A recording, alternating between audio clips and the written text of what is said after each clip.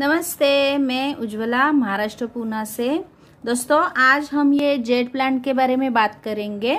इसका प्रोनाउंसिएशन तो जेड होता है, लेकिन ये जे ए डी ई जेड ऐसा इसका स्पेलिंग होता है। इसे फ्रेंडशिप प्लांट भी कहते हैं और लकी प्लांट भी कहा जाता है। जितना हम लकी बाम्बू और मनी प्लांट को शुभ मानते हैं, उतना ही जेड प्लांट को शुभ माना जाता है। ये एक सकुलेंट फैमिली का प्लांट है। और ये परमानेंट प्लांट है, इसे आप इंडोर रख सकते हैं या फिर आउटडोर भी रख सकते हैं। अगर इंडोर रखा तो इसे ऐसी जगह पे रखिए जहाँ पे ब्राइट रोशनी हो और अगर आउटडोर रखा तो इसे छायादार जगह पे रखिए। इस पे डायरेक्ट सनलाइट नहीं गिरनी चाहिए।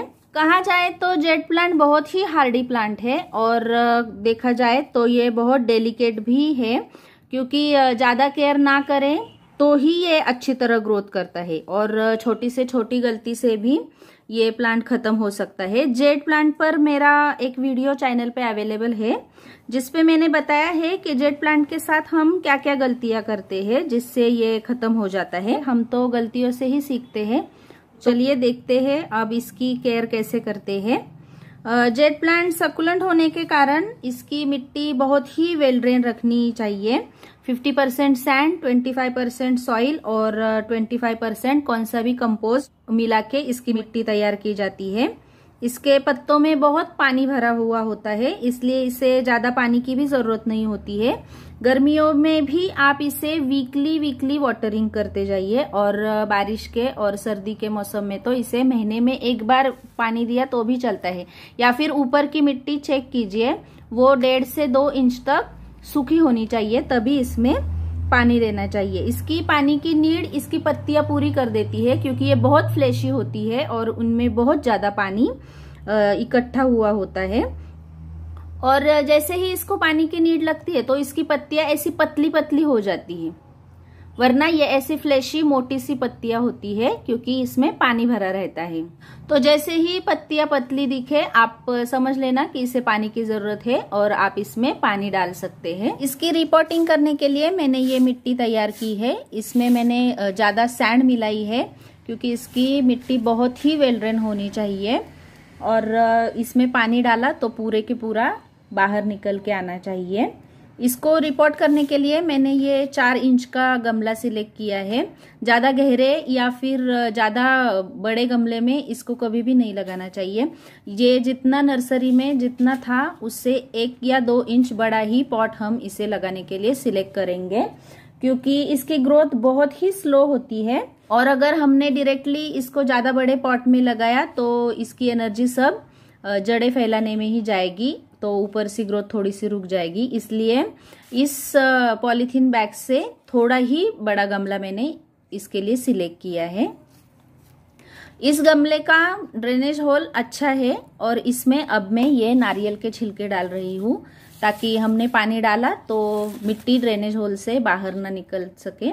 इस मिट्टी में मैंने थोड़ा सा इप्सम सॉल्ट भी डाला है, क्योंकि पॉट को रिपोर्टिंग का शॉक लगने का डर रहता है। इप्सम सॉल्ट से वो शॉक नहीं लगता है। और थोड़ी सी मैंने नीम खली भी डाली है। नीम खली से मिट्टी में अगर कोई फंगस हो तो वो जड़ों तक पहुँचती नहीं है। तो ये मिट्टी हम पहले अच्छे से भर लेंगे। जेट प्लांट को ज़्यादा धूप की ज़रूरत नहीं होती है। इसे ज़्यादा से ज़्यादा मॉर्निंग की एक आध घंटे की धूप लगी तो भी चलती है। अगर इसे ज़्यादा धूप लगी तो इसके पत्तियाँ पीली पड़ जाती है और गिर जाती है। और ज़्यादा जगह बदलने पर भी ये प्लांट अपनी पत्तियाँ पीली करता है और ड्रॉप करता है। इसलिए बार बार इसकी जगह भी नहीं बदलनी चाहिए। जेट प्लांट को फर्टिलाइज़र की भी ज़्यादा ज़रूरत नहीं होती है। दो महीने में आप कौन सा भी कंपोस्ट इसमें ऐड कर सकते हैं। और लिक्विड फर्टिलाइज़र अगर देना हो तो बहुत ही कम मात्रा में दे, लेकिन बार बार इसे नहीं देना चाहिए, क्योंकि हम इसको वाटरिंग भी वैसे तो कम ही करते हैं। इसलिए इसे कंपोस्ट खाद ही देनी बहुत अच्छी होती है। और सर्दियाँ इसका डॉर्मेंसी पीरियड होता है। सर्दियों में ये अपनी ग्रोथ रोक लेता है। अभी तो बारिश का सीज़न है, इसलिए हम इसे रिपोर्ट भी कर सकते हैं। बारिश के मौसम में आप इसकी रिपोर्टिंग कर सकते हैं। इसकी जड़ों को भी हम खोल सकते हैं। बारिश के मौसम में कौन से भी प्लांट को रिपोर्ट किया तो चलता है।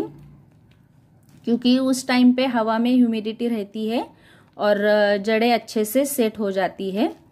कौन से भी प्लांट को अगर आपको रिपोर्ट करना है तो इवनिंग के टाइम पे कीजिए, ताकि रात भर का पीरियड उसको सेट होने के लिए मिलता है।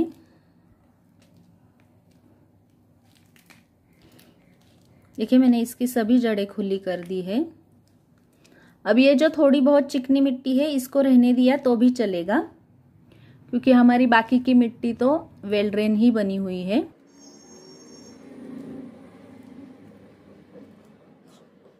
इसको अगर आप निकालना चाहे तो पानी में डिप करके रख सकते हैं ताकि ये सब मिट्टी इससे निकल जाए। ना किया तो भी चलेगा अभी। अभी तो ये पूरी तरह से खुल गई है। अब हम इसको इसमें रख देंगे।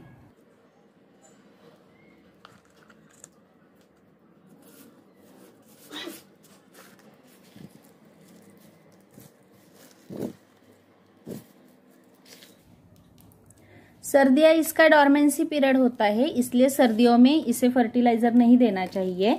और हम जब भी फर्टिलाइज़र दें तो इसकी मिट्टी गीली होना बहुत ज़रूरी है क्योंकि सूखी मिट्टी में अगर फर्टिलाइज़र दिया तो हमारे जड़ों को तकलीफ़ हो सकती है।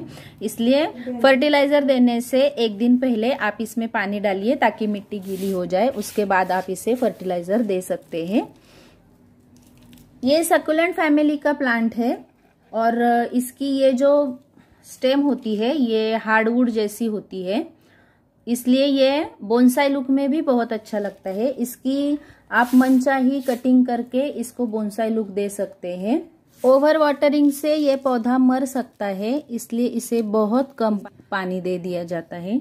अब हम इसे अच्छे से पानी देंगे। ताकि मिट्टी में अगर एयर पॉकेट रह गया हो तो वो रहना जाए। और इसके बाद हम दूसरा पानी, इसकी ऊपर की मिट्टी एक से डेढ़ इंच तक सूखने के बाद ही देंगे।